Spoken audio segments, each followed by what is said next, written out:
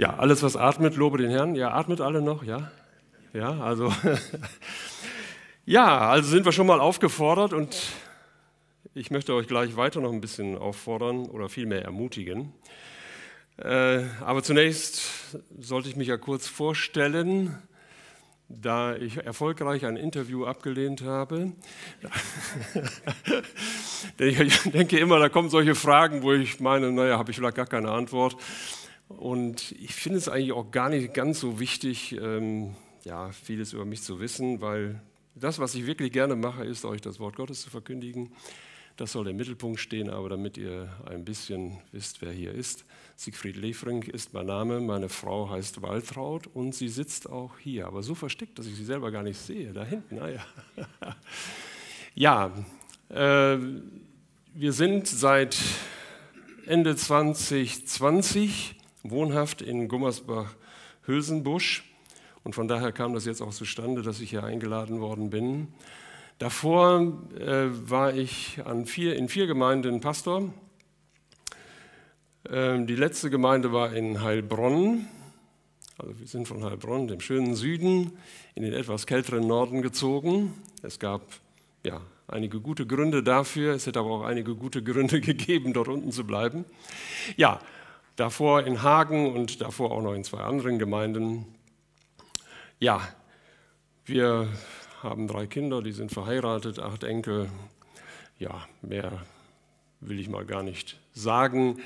Also das Wort Ruhestand habe ich nicht gebraucht, weil ich so etwas eigentlich nicht kenne. Ich ähm, rede vom Renteneintrittsalter, das habe ich jetzt hinter mir und ähm, ja, arbeite immer noch. Gut, Jetzt lobe den Herrn. Psalm 63, da ich nicht kann, euch nicht kenne, ich war noch nie hier und auch gar nicht weiß, was euch so besonders bewegt, habe ich gedacht, ich nehme etwas, was ähm, auf jeden Fall nicht unbedingt in eine konkrete Situation hineingesagt werden muss, sondern was einfach für uns alle hilfreich sein könnte. Psalm 63. Ein Psalm Davids aus der Zeit, als er sich in der Wüste von Juda aufhielt. Gott, mein Gott bist du, dich suche ich. Wie ein Durstiger, der nach Wasser lechzt, so verlangt meine Seele nach dir. Mit meinem ganzen Körper spüre ich, wie groß meine Sehnsucht nach dir ist in einem dürren, ausgetrockneten Land, wo es kein Wasser mehr gibt. Mit dem gleichen Verlangen hielt ich im Heiligtum Ausschau nach dir, um deine Macht und Herrlichkeit zu sehen. Denn deine Güte ist besser als das Leben. Mit meinem Mund will ich dich loben. Ja, so will ich dich preisen. Mein Leben lang im Gebet will ich meine Hände zu dir erheben und deinen Namen rühmen. Deine Nähe sättigt den Hunger meiner Seele wie ein Festmahl. Mit meinem Mund will ich dich loben. Ja, über meine Lippen kommt großer Jubel. Nachts auf meinem Lager denke ich an dich, stundenlang sinne ich über dich nach. So viele Male hast du mir geholfen und im Schutz deiner Flügel kann ich jubeln. Von ganzem Herzen hänge ich an dir und deine Hand hält mich fest. Meine Feinde wollen mir Böses und trachten mir nach dem Leben. Im tiefsten Totenreich werden sie noch enden. Dem tödlichen Schwert werden sie ausgeliefert, den Schakalen werden sie zur Beute. Doch der König wird sich freuen, weil Gott zu ihm hält. Glücklich schätzen kann sich jeder, der sich bei einem Eid auf Gott beruft. Der Mund des Lüg der Lügner aber wird gestopft. Es ist gerade von Marc schon einige Male so angedeutet worden, dass wir mit der Gegenwart Gottes rechnen. Und sie ist uns zugesagt. Und das ist es doch, was wir uns eigentlich auch wünschen von einem Gottesdienst, dass wir ihm dort begegnen. Das kann unterschiedlich aussehen, aber wir wünschen uns, dass wir bereichert nach Hause gehen, weil wir etwas erlebt haben von der Nähe Gottes. Aber eben das nicht nur im Gottesdienst, sondern auch sonst. Und doch könnte man meinen, ist das nicht ein zu hoher Anspruch, wenn ich sage, ich will Gott begegnen? Sollten wir das nicht ein bisschen bescheidener formulieren? Nun, die Bibel spricht davon, dass wir Gott begegnen können. Und die Frage ist für uns, können wir da Schritt halten? Ich möchte uns ermutigen mit diesem Psalm. Und zwar als erstes, indem ich euch sagen möchte, im Gebet können wir unsere Sehnsucht danach, Gott zu begegnen, ausdrücken. Ich hoffe, es klappt jetzt mit der Präsentation. Danke, es klappt. Da steht, Gott, mein Gott bist du, dich suche ich. Wie ein Durstiger, der nach Wasser lechzt, so verlangt meine Seele nach dir. Mit meinem ganzen Körper spüre ich, wie groß meine Sehnsucht nach dir ist, in einem dürren, ausgetrockneten Land, wo es kein Wasser mehr gibt. Man könnte hier drüber setzen, meine Seele sehnt sich nach Gott. Und diese Sehnsucht auszudrücken, ist schon Gebet. Gebet ist nicht erst, wenn diese Sehnsucht erfüllt ist, sondern wenn ich diese Sehnsucht in meinem Herzen habe und damit einen Mangel empfinde und ausdrücke, dann ist das schon Gebet. David dichtet diesen Psalm in oder im Nachdenken des Erlebens in der Wüste. Und er sagt, so wie ich es jetzt körperlich empfinde in dieser Wüste, dass ich Durst habe, dass mein, mein Mund danach lechzt, nach, nach Flüssigkeit, so ist auch meine Seele. Das ist nicht angenehm. Wenn ich das lese, denke ich immer an Paris, wo wir vor dem Eiffelturm standen, meine Frau und ich, und zu geizig waren, um uns was zu trinken zu kaufen. Aber ich hatte einen Wahnsinnsdurst. Und so kann es auch der Seele gehen. Aber Durst zu haben, ist ein gutes Zeichen. Es wäre gefährlich, Durst gar nicht zu empfinden. Stellen wir uns vor, der Körper braucht Wasser und wir empfinden das gar nicht. Es gibt alte Leute, habe ich mir sagen lassen, die empfinden das gar nicht und verdursten. Es ist etwas Gutes, etwas, was uns sogar froh machen kann, wenn wir diese Sehnsucht, diesen Durst empfinden. Es heißt zum Beispiel am Anfang der Bergpredigt, glückselig, die geistlich arm sind. Ja, wäre schon gerne arm. Also ich, ich, aber wenn du das spürst, ist das kein schlechtes Zeichen. Oder glückselig sind die hungert und dürstet nach Gerechtigkeit. Wer will nicht endlich Gerechtigkeit in dieser Welt? Wenn du das empfindest, dann ist das ein gesundes Zeichen. Und wenn du Durst nach Gott hast, die Gemeinschaft mit ihm suchst, ist das ein gesundes Zeichen. Dann brauchst du nicht zurück, äh, dich zurückziehen und sagen, oh, ich kann in der Gemeinde nicht auftauchen, ich bin nicht so hip vorne dabei und immer so und so, wie wir gerade zumindest im Film gesehen haben. Ich habe mir nicht umgeguckt, wie ihr hier äh, euch bewegt habt, ja? Ich dachte, machst du besser nicht. Äh. ja, ja. Gut, oder habt ihr eine Kamera hier, dann kann ich das nachher noch gucken. Ja, lassen wir mal. Nein, jedenfalls, diese, diese Sehnsucht ist etwas Gutes. Und so, meine Seele ist in der Wüste, das merken wir besonders in Krisenzeiten, wenn es nicht so läuft, wie äh, wie wir uns das wünschen. Und da haben wir ja jetzt auch eine zweijährige gemeinsame Erfahrung. Ich will das Wort endlich nicht mehr im Mund nehmen, aber ihr wisst, was ich meine. Wo du auch einfach merkst, da fehlt was. Und wenn du da gemerkt hast, zum Beispiel, ich habe auch keine Anregung mehr im Heiligtum. Also so schreibt er, mit dem gleichen Verlangen hielt ich im Heiligtum Ausschau nach dir. Aber jetzt ist er in der Wüste, er ist nicht im Heiligtum. Also als ich im Heiligtum war, damals war es ja noch die Stiftshütte, äh, heute würden wir sagen, okay, wir, wir haben Gemeinschaft in der Gemeinde, im Gottesdienst und so weiter. Ähm, da wollen wir einfach äh, miteinander erleben die Nähe Gottes. Und das war jetzt lange Zeit eingeschränkt, so massiv eingeschränkt, dass ich hoffe, dass du auch für dich diesen Durst empfunden hast, dass dir was fehlt, dass sich das gar nicht gut anfühlt, oder? Ich mag jetzt keine Handzeichen, in, in, ich, ich, mag selber nicht die Hände heben zu, wenn ich irgendwie gefragt werde in einer öffentlichen Versammlung, ja, weil das manchmal ein bisschen ambivalent ist mit dieser rauf runter. Aber überlege mal für dich, ja, Wie hast du das empfunden, diese Zeit? Hat dir was gefehlt? Hast du da, ich sag mal, das gehabt, was ich hier auch Durst der Seele nennen kann? Ich hoffe doch. Das wäre ein gutes Zeichen. Wenn du nichts vermisst hast, wäre das äh, nicht so besonders gut. Und so wissen wir, dass es bessere Zeiten gab, die wir uns dann auch sehnlichst wieder wünschen. Oder Beziehungen, die zerbrochen sind, und wir uns wünschen, dass sie wieder heil werden und wir wieder da ansetzen können, wo wir einmal waren, wo wir gut miteinander unterwegs waren.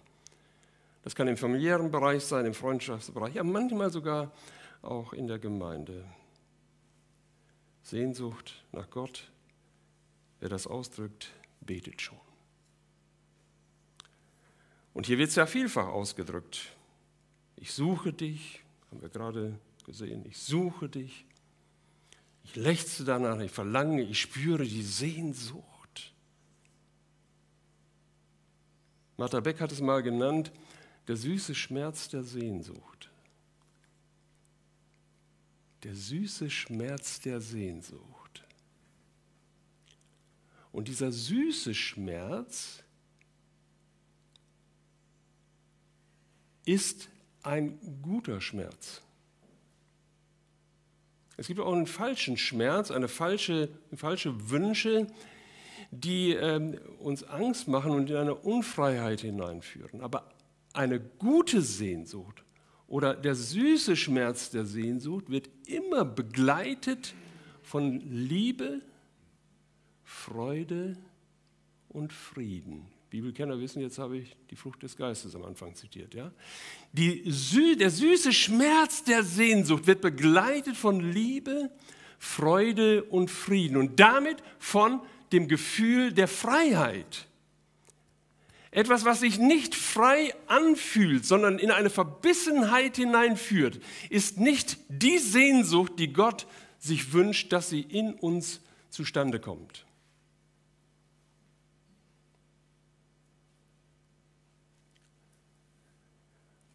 Und so sollten wir versuchen, unserer Sehnsucht, unserer tiefsten Sehnsucht auf die Spur zu kommen.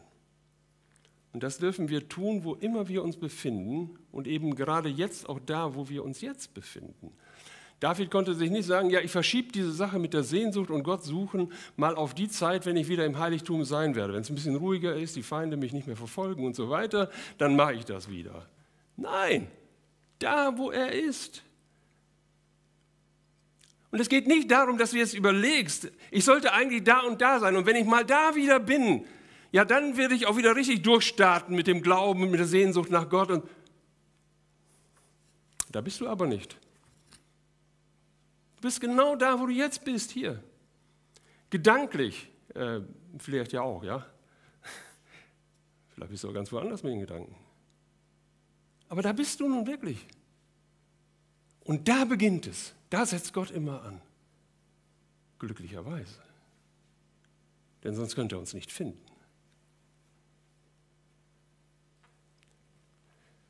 Und so sagt er, so bin ich auch beschäftigt in der Nacht mit Gott. Übrigens, dieser Psalm, der äh, war in der alten Kirche ein Morgengebet, so hat Luther auch wohl übersetzt, Gott, du bist mein Gott, früher wache ich zu dir. So ist es zumindest in der Ausgabe von 1912. Aber eher geht es hier um eine Situation, wo er sagt, ich kann nicht schlafen nachts. Ja, kann man sich auch vorstellen. Nicht? Wenn Feinde unterwegs sind, ein umzingeln, schläft man nicht besonders gut. Kann ich mir gut vorstellen. Aber dann sagt er, was passiert in dieser Nacht? Da war ich voller Sorgen erfüllt, weil ich einfach nicht weiß, wie es weitergeht. Nein, das sagt er nicht. Er sagt, nachts auf meinem Lager denke ich an dich. Stundenlang sinne ich über dich nach. Nun, er kann seine Lage nicht verändern, aber er kann seine Lage und die Gedanken, die er damit verbindet, in Verbindung bringen mit Gott. Und wenn ich das nicht tue, bleiben nur Sorgen übrig.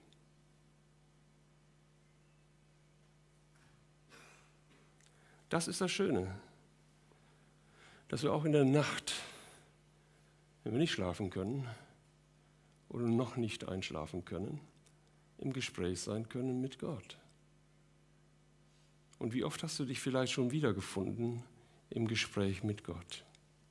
Manchmal beten wir ja auch, obwohl wir es gar nicht für uns vorgenommen haben, nicht? weil wir einfach Ich hoffe, dass ihr das erlebt, ja. Und dass ihr dann betet.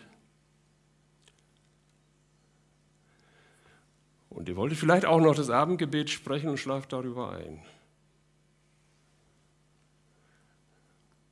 Einen besseren Schlaf gibt es nicht.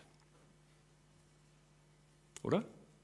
Man müsste sagen, ja, aber kann man doch nicht machen, man kann nicht beten und dann einschlafen. Ja, im Hauskreis ist es ein bisschen schwierig. Deswegen habe ich immer ein Problem, wenn Hauskreise lange gehe und dann noch eine Gebetsgemeinschaft angeschlossen wird und dann noch die Hände falten und die Augen zumachen. Also das finde ich immer ein bisschen schwierig. Ja?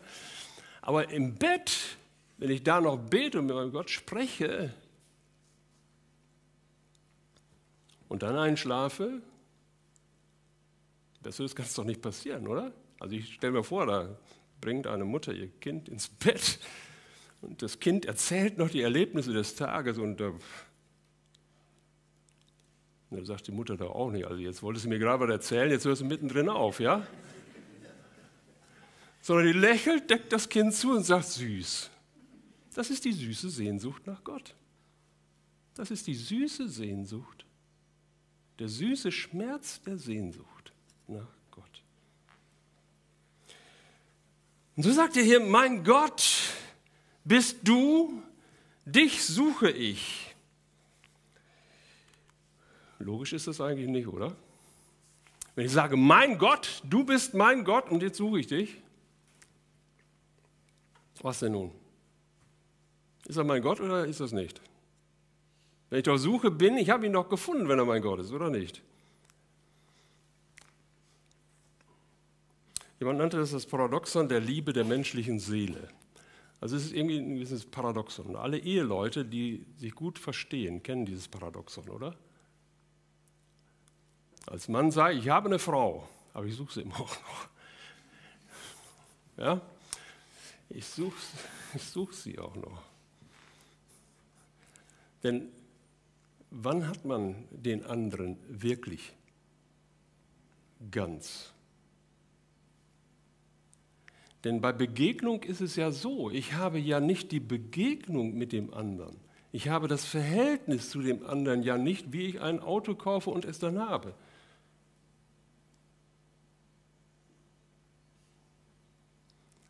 Man verschließt sich zwar die Treue und es ist ja wunderbar, wenn man Jahrzehnte miteinander treu unterwegs sein kann, aber ich habe nicht einfach nur meinen Partner, sondern ich suche die Nähe und die Beziehung immer wieder neu, weil ich das nicht konservieren kann, glücklicherweise nicht. Jede Begegnung ist eine aktuelle neue Begegnung und so ist es mit Gott auch. Ich habe Gott nicht einfach, indem ich eine Sache habe, sondern die Begegnung ist eine aktuelle neue Begegnung. Seine Barmherzigkeit ist jeden Morgen neu, wie wenn du frische Brötchen holst. So ist das. So ist diese Beziehung. Und jede lebendige Beziehung wird so empfunden. Aber kommen wir zu dem zweiten. Wollt ihr auch noch haben, mal feiern? Oh, das stimmt ja. Das zweite ähm, Gebet, das Glück, Gott zu begegnen. Hier steht, denn deine Güte ist besser als Leben mit meinem Mund will ich dich loben. Ja, ich will dich preisen mein Leben lang. Im Gebet will ich meine Hände zu dir erheben. Habt ihr das gerade gesehen, so im Film? Ja, fällt ein bisschen schwer. Ne? Weil wir das immer mit bestimmten äh, Gruppen verbinden, wo wir sagen, oh, weiß nicht, ob ich da so ganz hin will und so, ja. Aber gut, meine Seele freut sich des Herrn, würde ich mal sagen, als Überschrift. Meine Seele freut sich einfach des Herrn. Er sagt, die Güte Gottes ist besser als das Leben, denn die Güte Gottes bleibt, auch wenn das Leben hier zu Ende geht. Und als er in der Wüste ist, war dem David alles genommen, was ihm viel bedeutete. Und gerade dann in solchen Wüstenzeiten, wo Menschen uns verlassen, wo, wo einfach keine Anregung von außen ist und so weiter, muss sich zeigen, äh, was mir die Begegnung mit Gott wirklich bedeutet. Und das Schöne ist, dass die Gnade, die Güte Gottes, es die erobernde Güte Gottes in unserem Leben ist. Und das zeigt, dass immer Gott die Initiative ergreift, um uns zu erreichen. Wir schaffen diese Güte nicht, es ist ja seine. Darauf dürfen wir uns glücklicherweise berufen. Und so sagt Paulus auch. Meine Gnade, sagt äh, Gott, Jesus einmal zu Paulus, meine Gnade genügt dir. Das genügt dir. Wo immer du dich jetzt auch befindest. Und wir müssen uns klar machen, dass wir von, da, von dieser Gnade immer wieder Tag für Tag, Gnade um Gnade, also immer auch wieder neu leben. Und David gebraucht hier ein Bild, das steht jetzt nicht in diesem Text, ich lese es uns nochmal, nämlich das Bild von einem Festmahl. Deine Nähe sättigt den Hunger meiner Seele wie ein Festmahl. Jesus hat oft von solchen äh, Festen gesprochen. Und in Jesus selbst, in seiner Person, haben wir Teil an solch einem Festmahl. Hier ist sogar von Fett und Mark die Rede. Gut, zumindest zur damaligen Zeit war das das Besondere. Ähm, ich weiß nicht, ob das heute Empfinden noch so ist. Nimm also das Beste, was du in deinem Buffet dir vorstellen kannst und sag, so ist das für mich. So ist das für mich. Und in Jesus kannst du das finden. Da wird in diesem Sinne deine Sehnsucht gestillt. Und wenn hier von Loben und Preisen die Rede ist, nehmen wir es nochmal, ja, so will ich dich preisen mein Leben lang, im Gebet will ich meine Hände zu dir erheben und deinen Namen rüben, dann geschieht das ja doch aus einem dankbaren Herzen. Und wir sollten uns immer wieder auch mal klar machen, was, was habe ich schon erlebt?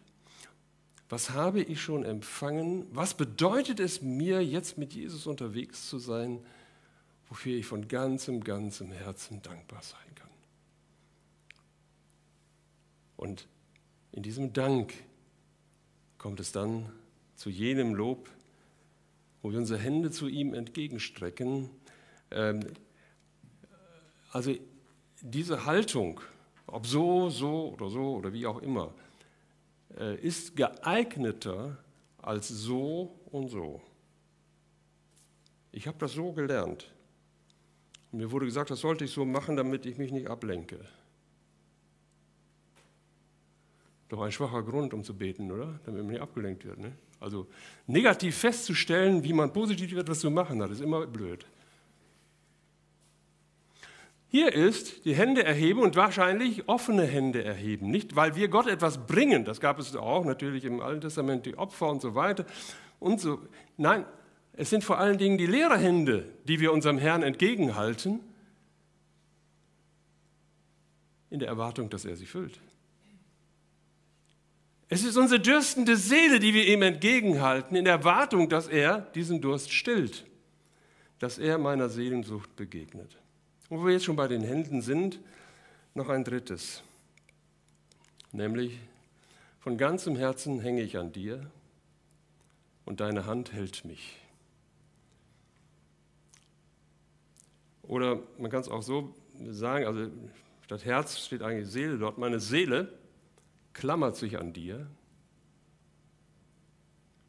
hängt an dir. Und deine starke Hand wörtlich deine rechte Hand, die immer als die starke, aktive Hand ähm, bezeichnet wird, deine starke Hand hält mich fest. Meine Seele hängt an Gott. Und das ist eine wechselseitige Aktion. Ihr merkt das hier schon. Meine Seele hängt an dir und deine rechte Hand, deine starke Hand hält mich fest. Wie eine Klette hänge ich an Gott aber er greift zu mit seiner starken Hand. Und wenn ich das ähm, hier so lese, dann äh, werde ich ähm, sehr schnell erinnert an Petrus, wie er ähm, auf den Wellen geht und dann Wind und Wellen sieht und dann ähm, ja, singt. Ich denke, die meisten von euch kennen diese Geschichte. Und dann ergreift Jesus die Hand des Petrus. Wenn ihr es sehen könnt, ich habe rechts nochmal etwas vergrößert, wie er das macht. Also zumindest der Künstler hat es so dargestellt und das finde ich sehr, ähm, sehr passend. Es ist nicht die Hand des Petrus, die den entscheidenden Griff tut. Der entscheidende Griff ist die Hand von Jesus, sodass er nicht abrutschen kann.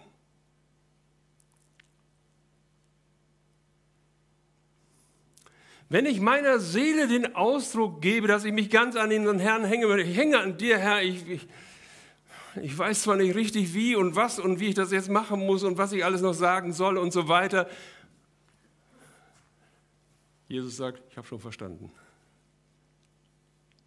Ich halte dich. Ich halte dich fest. Und das ist entscheidend, wenn er mich festhält.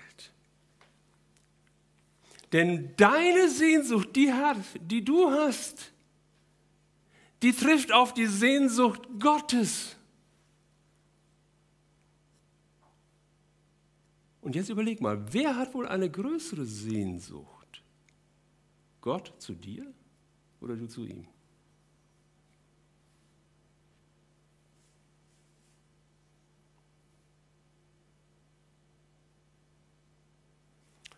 Wenn wir gleich Abendmahl feiern, Feiern wir dann unseren Bund mit Gott oder feiern wir Gottes Bund mit uns? Oh, sagt ihr, das ist doch gegenseitig ein Bund, oder? Glücklicherweise ist der sehr einseitig. Wenn dieser Bund nicht von seiner Seite als neuer Bund angeboten würde, könnte ich ja gar nicht einsteigen. Ich kann ja nicht auf die Idee kommen und sagen, ich will einen Bund mit Gott machen. Wenn er keinen anbietet, kommt nichts. Seine Hand hält mich. Das ist Evangelium.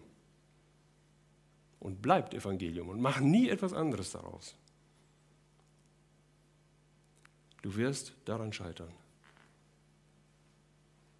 Merken wir, der Weg ist einfach, wie ein Kind, das zu seinen Eltern kommt. Und wenn das so ist, dann mach es nicht kompliziert. Und übrigens, sei nicht so bescheiden. Ich möchte enden mit einem Zitat von C.S. Lewis, der meinte, es scheint, als ob unser Herr unsere Sehnsüchte nicht als zu stark empfindet, sondern als zu schwach. Wir sind halbherzige Geschöpfe, weil wir mit Alkohol, Sex und Ehrgeiz herumspielen, während uns unendliche Freude angeboten wird. Wir sind viel zu schnell fertig mit den Sachen. Dabei gleichen wir einem unwissenden Kind in einem Elendsviertel, das weiter im Dreck spielt, weil es sich nicht vorstellen kann, was es bedeutet, Ferien am Meer angeboten zu bekommen. Wer fährt noch zu den Ferien? Ja, ich wollte jetzt eigentlich gar keine, habe ja gesagt, was ich davon halte, aber ne, war ja eine nette Frage. Ne? Also ihr fahrt noch ans Meer, super. Aber wir halten uns manchmal wie Kinder, die im Elendsviertel im Dreck spielen und sagen, das sei die ganze Welt. Wir sind viel zu leicht zufriedenzustellen, sagt C.S. Lewis. Also, Sehnsucht nach Gott ist wirklich eine, eine ganz starke Sehnsucht. Und das fühlt sich nach Ferien am Meer an. Also, sogar dann, wenn ich mich jetzt im Moment noch in der Wüste befinde. So, das ist das, was David hier erlebt. Also schlicht kommen wir. Und kommen wir auch schlicht, wenn er uns einlädt, auch einlädt an seinen Tisch. Wie viele Gedanken haben uns schon im Laufe der Jahre oder vielleicht Jahrzehnte abgehalten, dieser Einladung zu folgen, weil wir dachten, ach, ich, bin ich gut genug, bin ich nah genug dran, ich weiß nicht so richtig. Wenn du eine Sehnsucht in deinem Herzen spürst und diese deinem Gott sagst, bist du genau richtig. Bist du an diesem Punkt. Warum nicht jetzt mit ihm ins Gespräch kommen? Lass uns eine Zeit der Gebetsstille haben, die ich abschließe.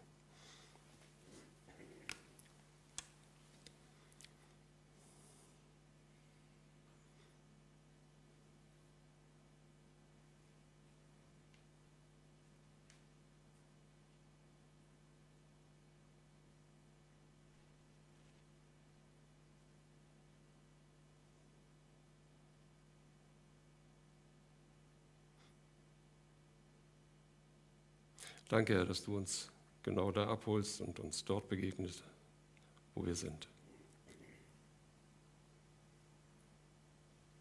Und danke, dass es jetzt auch gilt, wenn wir miteinander feiern an deinem Tisch.